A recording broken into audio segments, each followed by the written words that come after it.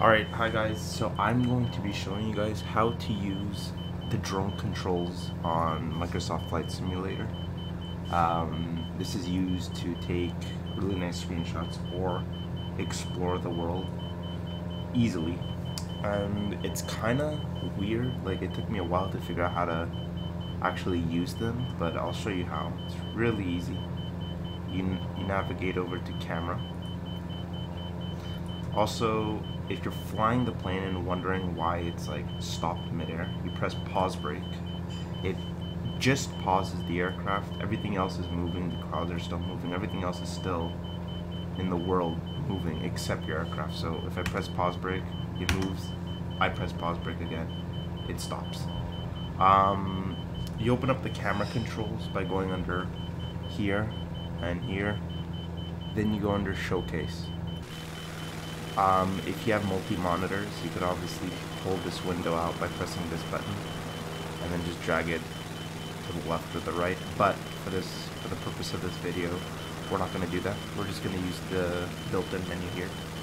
So you go over to showcase and then drone speed, I recommend 100 because it's easier to navigate when you're at 100. The big, big world that this is. 100, follow mode, you can leave that the way it is. Uh, this just follows the plane, but we'll, we'll, we'll be moving out of it regardless. Um, everything else should be just like this. And then you could minimize or X out of this. You're good. I'm going to minimize just in case I want to go to a different angle. Anyways, uh, now the controls. Uh, you move left, right, forward, and back using WASD. So left, D is right, forward is W, and S is back. Now you press numlock on your keyboard. You need an extended keyboard for this, for it to work like stock.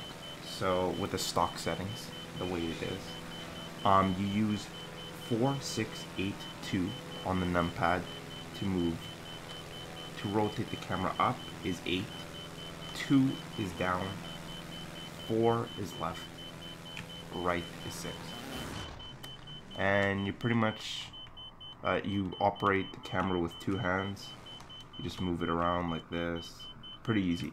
Now, took me a while to figure out how to go up and down. So, to go up, you hold R. To go down, you hold F.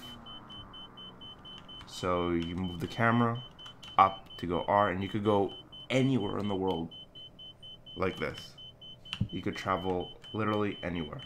And then, boom, you could go, for example, down to the Opera House.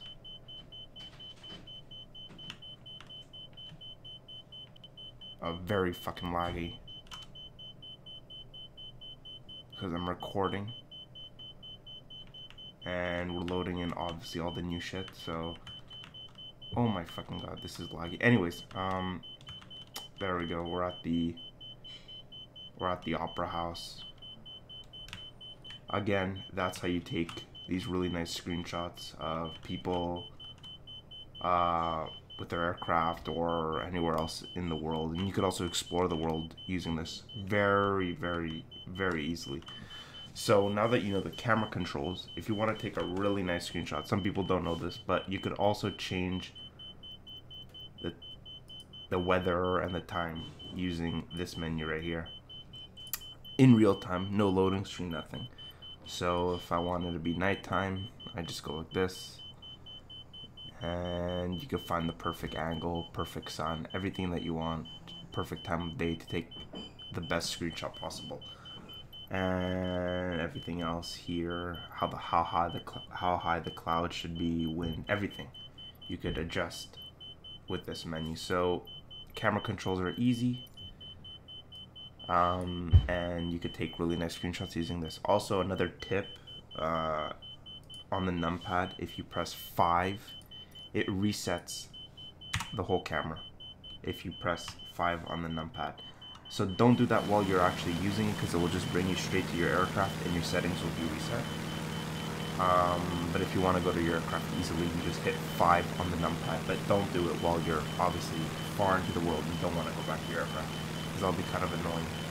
And yeah, that's pretty much it. I use the camera controls. Thanks for watching.